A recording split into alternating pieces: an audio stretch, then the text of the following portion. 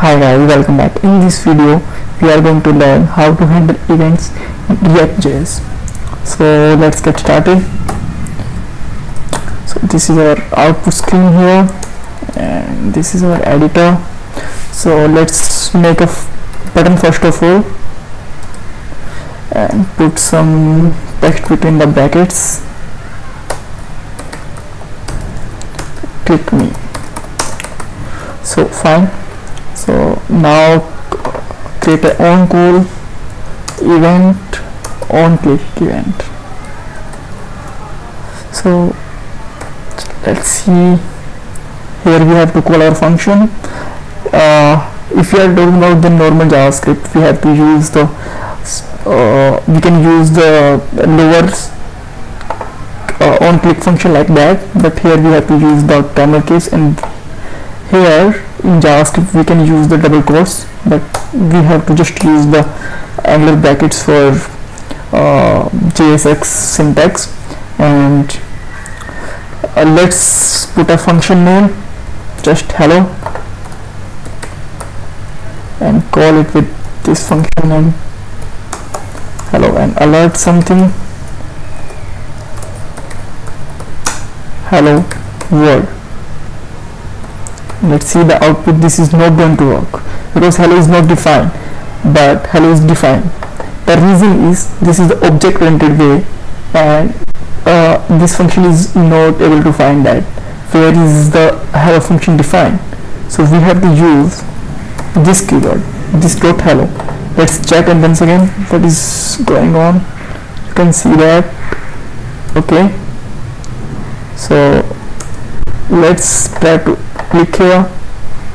You can see that this is working fine. Hello world. Okay guys fine. So if you are going to call with uh, this like brackets here now you can see that what happened. This function is called automatically because uh, this function is not bind with anything else. So if you want to pass any uh, parameter so we must have to use the bind function. And now you can use this easily fine. Uh, one more way to call the function is arrow functions. So if you are not familiar with the arrow functions you must have to learn that there is a lots of tutorial with the arrow functions and this this is very important in uh, javascript especially. So let's see uh, here we can call this dot hello. So now you can here uh, use your uh, parentheses here and see that function is working well. So yes you can use the uh, this arrow function here also. So for that we need a let's use a var and define call me. Okay. Call me variable and just put uh, a function here. And directly call here. Hello? And now you can use uh, like that directly.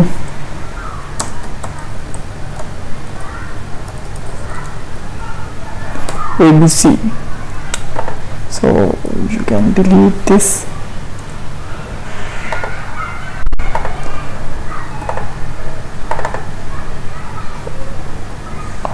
like that.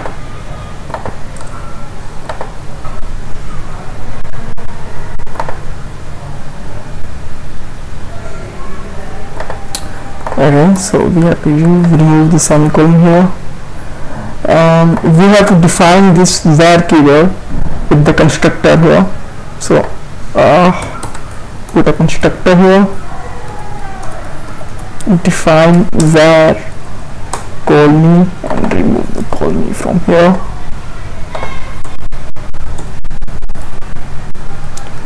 And now see. Okay so there is some issue. What is calling? Yes we have to define a super function here.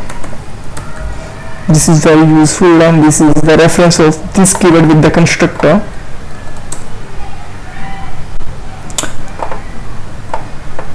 okay so we have to put okay so we have to use call here hello. Uh, oh sorry call me function. And now it should be fault verifying. So you can see that this is the output. Let's make something good.